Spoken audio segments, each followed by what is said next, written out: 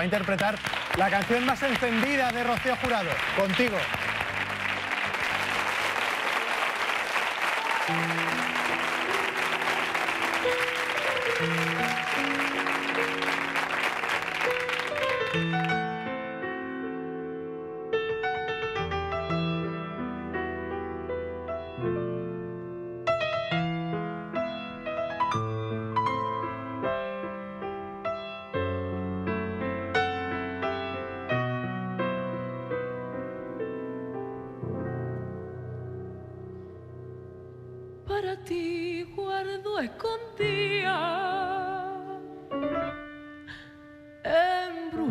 Pasión,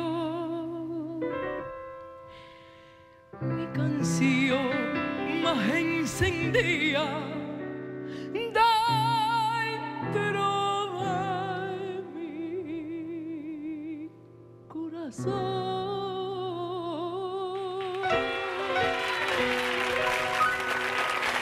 Al principio fue un secreto,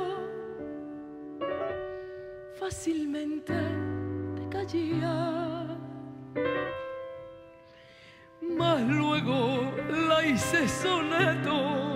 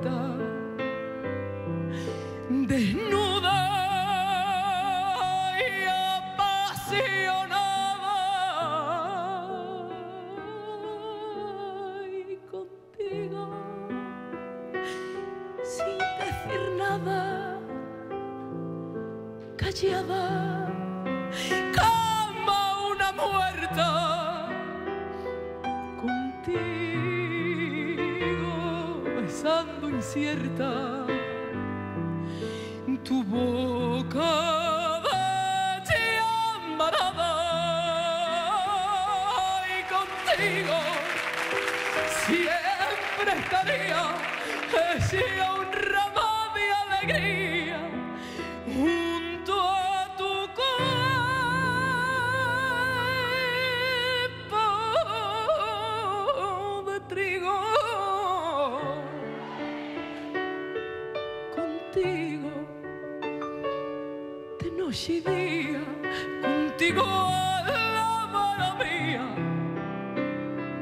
contigo siempre contigo. Contigo contigo contigo contigo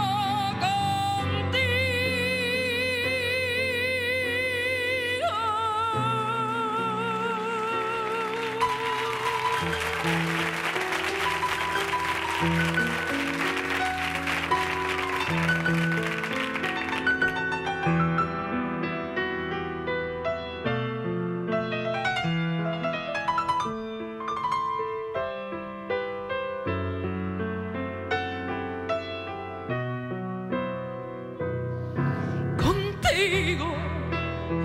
siempre estaría ese un ramo de alegría junto a tu cuerpo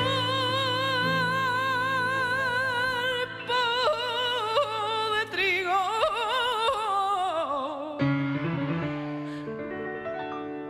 Contigo de noche y día contigo era mía siempre contigo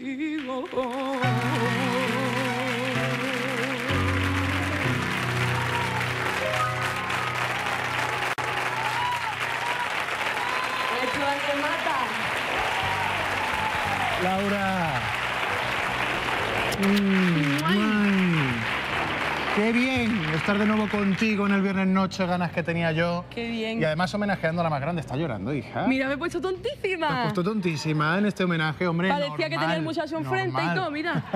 no quiero WhatsApp. A tu edad, que tú debes tener, ¿qué tienes? ¿15, 16? Acabo de cumplir 14. ¿Cuántos tienes, Laura? ¿Cuántos tienes? 20. 20 ya, bueno. Lo puedo decir todavía. Todavía se puede decir, pero es raro que a tu edad, que a esos 20 recién cumpliditos, tengas capacidad para cantar de una manera tan sentida estas canciones a las que hay que meterle tanta pasión como si hubieras vivido todo lo que estabas diciendo, ¿no? Bueno, es verdad que ya me ha dado tiempo un poquito, ¿sabes? Tú desamores pocos, cariño. Tú desamores Pero lo que pocos. pasa aquí es que a mí me encanta meterme en el papel, me encanta vivirlo, me encanta porque si tú no Una te lo crees, al fin y al cabo, pues no lo transmite. Y esta es Una coplera que es actriz papelera, también. muy papelera. Pese a tu juventud, se te ha comparado mil veces con la jurado. He tenido el incluso placer. estéticamente. Yo no sé si después de tanto tiempo escuchándolo lo sigues recibiendo como un halago o te gustaría diferenciarte. Evidentemente siempre es un placer y un orgullo que te, que te digan, aunque sea un ápice de parecido tienes, pero, pero ya sí que es verdad que tú quieres, ya haces tú, tener tu propia personalidad y no, y no ser la niña que canta por la jurado. Pues eso de vez en cuando gusta. Bueno, Rocío Jurado ha sido sin duda un referente para ti y me imagino que te habría encantado conocerla. A mí me hubiera hecho tanta ilusión, Luis, que yo alguna vez me lo imagino, digo, si yo lo hubiera conocido. Pero bueno, yo creo que estaba. Yo que también me estaba lo así, imagino. ¿verdad? Digo, si, si estuviera viva y pudiera Yo me imagino invitarle lo que me podía decir. un día al lo que- programa, ¿Te imaginas? Ahí aquí con nosotros, qué grande. sería increíble. Pues ¿verdad? llorando todo el mundo no podíamos hacer programa ni nada. Bueno, lo cierto es que la voz de Laura Gallego siempre nos ha recordado un poquito, bastante, a la de Rocío Jurado, probablemente porque ella la ha admirado desde muy niña. Y lo que esta chiquilla no se podía imaginar es que un día la iban a recibir en Chipiona como a la sucesora del artista.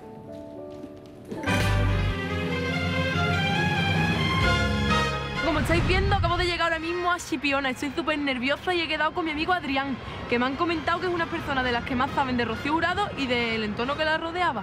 Así que voy a preguntarle si me enseña un poquito Chipiona. Vamos, que llegamos tarde. ¿Cómo estás? Estupendamente, aquí esperándote. Muy bien, tengo ganas que me enseñe ya Chipiona. Venga, yo te lo enseño. Dice que eres la reencarnación de Rocío, ¿no? Ay, no será para tanto, no será para Tremendo, venga, te voy a enseñar un poquito las Venga, rutas, ¿no? Venga. Yo no escucho lo que dicen. El monumento que levantó el pueblo por ser profeta en su tierra. Y ya lo veo guapa que estáis. tanto. Qué guapa. Bueno, ¿y eso hace mucho tiempo? ¿Eso qué año fue? Fue en el año 94.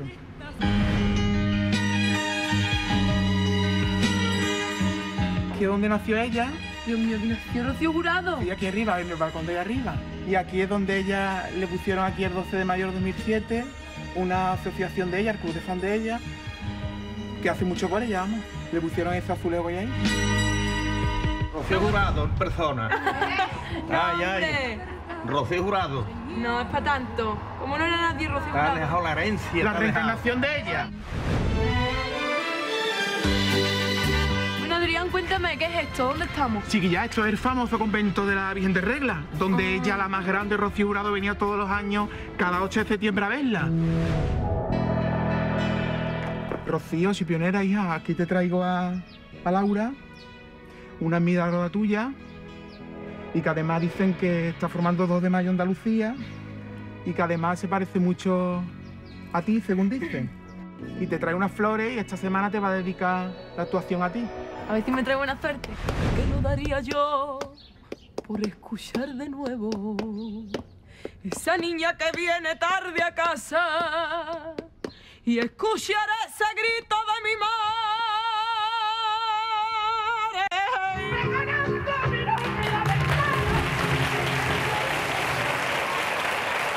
¡Qué chica! ¡Qué chica! Qué ¡Qué chica. chica! Si es que eran muy niñas, eran muy niñas. Cuatro años de ya, Luis, casi cuatro. Pero impone, ¿no? Que te digan que eres la reencarnación de Rocío Jurado muchísimo. y en su propio pueblo. Para mí fue súper fuerte porque venían todas las abuelitas diciéndome que la había conocido a ella y a mí me hacía mucha ilusión yo con la lágrima saltar y allí porque digo, esto es algo, qué miedo.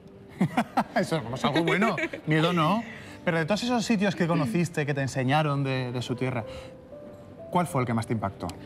A mí me gustó mucho el sitio donde ella iba todos los años, que siempre estaba allí, siempre tenía su sitio, que iba todos los 8 de septiembre. Me llamó la atención porque es también la patrona de mi pueblo. Y, y me dijeron que ella tenía mucha devoción y que tuviera lo que tuviera ese día, siempre estaba allí y no le faltaba ni un año. Y me llamó mucho a mí la atención aquello. Que ella tuviera un compromiso fijo allí ¿Y con su vuelto, virgen. has vuelto a ir a, a No he vuelto ahí, no he vuelto ahí. Tenemos que darnos un paseíto Tenemos por que ir tú y ¿eh? yo porque si Este no, no. Pero es que ¿sabe qué pasa? Que tengo muchas cosas que hacer. Por Ya, ejemplo, bueno, hija, pero un Hombre, huequecito hombre. se busca. ¿Qué tienes que hacer? Mira, ya el me han viernes- dicho que tienes conciertos El viernes a, a, voy al a Jerez, el viernes 8, que tenéis que venir todo el mundo a verme. Pues el sábado, que no tengo nada que hacer, nos vamos a Chipiona. Pero el viernes 8 a las 12 de la noche está aquí todo el mundo, no, ¿eh? el viernes 8 está aquí la gente, pero dijo yo a las tantas de la noche no voy a cantar, yo a esa hora Bueno, estoy acostada vale. ya. Bueno, no viéndote. ¡Uh! En Jerez, en el Teatro Villamarta, nada menos. Eso es mucha responsabilidad más porque bonito, Jerez. estás además cerca del Gar, de tu pueblo, estará toda tu gente allí apoyándote. Esto ya He son estado aquí en Sevilla mayores. y ya me voy para Jerez. Estoy muy contenta. Esto te iba a decir, porque vamos, Es que lo dices como que pena. criando, nos Está en Sevilla, he llenado, he Los triunfado. dos días, los dos días en de Vega, ¿eh? O sea, que no lo dices con pena, ¿no? No lo Así digo te voy a tener que Por canear. cierto, que no viniste, podías venir al Villamarta el viernes. Venga, lo dejo caer. Invítame. invítame. Invitado quedas. Por cierto, Laura, de esta edición que está a puntito de concluir, como tú bien sabes, ¿tú te atreves a hacerme una quiniela con los cuatro finalistas? En orden, no, no, digo, ah, no. En orden no, tú me dices los cuatro que tú crees que van a estar. Lo que a mí me gustaría, Venga. pues mira, me gustaría que estuviera Jonathan. Pues me gustaría que estuviera la Cintia también. Cintia Merino también. Cintia. Me gustaría Manuel Criba- Cribaño, que me hace mucha gracia. Manuel Cribaño, mira, este es nuevo, no lo había dicho Manuel antes Cribaño. Sandra ¿Por qué no lo dice nunca nadie en la quiniela? Pues a mí me gusta ese niño. Muy bien. El niño Y, y Peñaflor. a Álvaro también. Y Álvaro, que te gusta a ti, Álvaro Pájara. Hombre, me gusta más Ana Pila que Álvaro, también es verdad. No, no, pero no igual. Hombre, en distintas Pero formas. no igual. Ay, en distinta formas. forma, como dices tú. Pues faltan solo dos semanas para la final del 16 de junio y ese día los cuatro mejores tendrán una cita con todos los andaluces. Por supuesto, esto es un encuentro que nadie se quiere perder y mucho menos los que aún quedan en la competición.